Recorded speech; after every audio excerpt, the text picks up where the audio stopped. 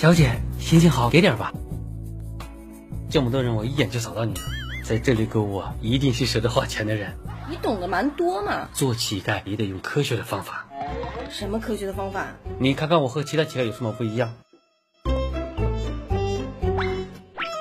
人们对乞丐都很反感，但我相信一定没有反感我。我懂的是 BOT 分析，优势、劣势、机会和威胁。对于我的竞争对手，我的优势就是我并不令人反感。这里每天人流量上万，穷人多，有钱人更多。理论上讲，我若是每天找一个人要一块钱，那么我一个月就能挣三十万。但是并不是每一个人都会给我钱，而且每天也逃不了这么多人，所以我得分析啊，哪些是我的目标客户，哪些是我的潜在客户。在这一代，我的目标客户是总人数的三成，成功率是百分之七十；潜在客户占两成，成功率是百分之五十，剩下五成我选择放弃，因为我没有足够的时间在他。们身上碰运气。那你是怎样定义你的客户呢？首先，目标客户就像你这样漂亮的小姐，有经济基础，出手大方，还有那些未成年的小女孩，我要好好的挖掘。小朋友，行行好。叔叔，你要钱吗？是啊。好吧。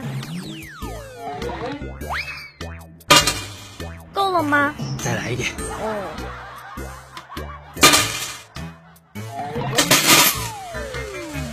谢谢啊。这两类人年龄都控制在十五到五十岁之间，年龄太大的可能已经结婚，财政大权掌握在老婆手里面，这一类人根本没戏。先生，给点。哎，根本你就拿我钱了。老婆在家管着紧，没钱抽烟了，拿着抽烟去。有时候他还找你要钱。那你每天能讨多少钱？周一到周五生意差点，两百块左右吧。周六周日每天能讨到五六百，这么多？我给你算一笔账，我和你们一样，也是每天工作八个小时，上午十一点到晚上七点，周末正常上班。我每乞讨一次的时间大概为五秒钟，扣除来回走动和搜索目标的时间，大概一分钟乞讨一次得一块钱，八个小时就是四百八十块钱，再乘以成功率百分之七十加上百分之五十乘以百分之六十再除以二，那就将近三百块钱。千万不能黏着客户满街跑。先生，给点钱吧，少给我点。你少给点吧，给点吧。这样乞讨不成，还有损乞丐的尊严。因为他要是给你，他早给了。你就算你舔着脸去纠缠，成功率也是很小。我们不能将有限的时间浪费在无需求欲望的客户身上，不如去寻找下一个目标。这个乞丐听上去真不可貌相，倒像是一位资深的市场营销总监。你接着说。有人说做乞丐是靠运气吃饭，我不以为然。在那个商场门口，一个帅气的男生和一个漂亮的女生，你会选择哪一个乞讨？不知道，应该去男的那边嘛。先生，给点。他身边有美女。他又不好意思不给你。要是去女的那边，小姐给点。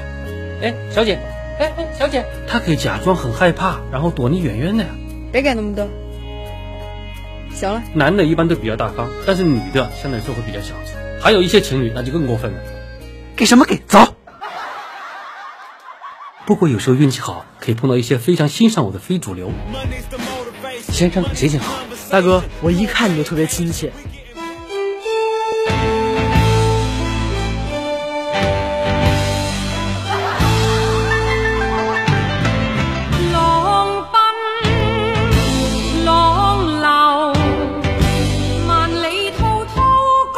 道理我越听越有意思，所以我说啊，知识决定一切。我听十几个总裁讲过这句话，第一次听乞丐也这么说。要用科学的方法来乞讨，天天躺在大路边怎么能讨到钱呢？谁没事整天在路上走啊？那多无聊啊！要用知识武装自己，学习知识可以把一个人变得很聪明。有一次，一个人给我五十块钱，哎，这五十块钱给你啊，这么大方，你给我对着这楼顶上喊“安红我爱你”，喊一百遍。这五十块钱就你的，我合计了下，喊一声得花五秒钟，跟我乞讨的时间是一样的，但是我乞讨的收益比他更高。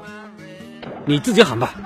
在这里，一般一个乞丐每月能讨个千二八百。这个城市有十万个乞丐，只有十个乞丐每月能讨到一万以上。我就是这万里挑一中的一个。二十一世纪最需要的是什么？人才。你想要得到更多的乞讨知识，微信添加搜索郑云，关注郑云工作室公众号，会得到很多收获。我常常说我是个快乐的乞丐，其他的乞丐说是因为我讨的钱多所以快乐，错，我是因为有快乐所以讨的钱才多。嗯，说的多好啊！要懂得体会工作带来的乐趣。没事的时候，我也带着老婆孩子逛街、shopping，一家三口其乐融融。有时候碰到同行，也扔几个硬币。先生，给点钱吧。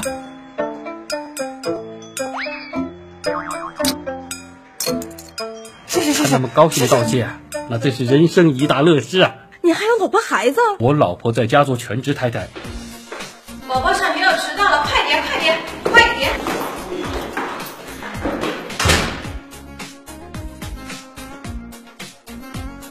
爸爸，我长大以后也要做一个像你这样成功的乞丐。那就好好读书啊。嗯。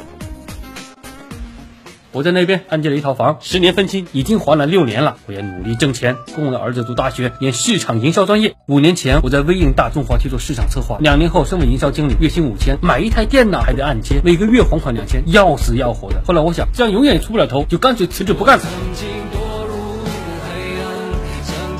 下海做乞丐，我愿意做个高素质的乞丐。你有没有兴趣收我做徒弟啊？那得潜规则。啊，做乞丐也要潜规则？人才不一定是待在办公室或人才市场，不管身处什么环境、什么岗位，能通过自身努力成为专家的人，那就是人才。所以兄弟姐妹们，从现在开始，我们别再抱怨环境不好、岗位太差、收入太低，调整自己，你也是个人才。我上班去了。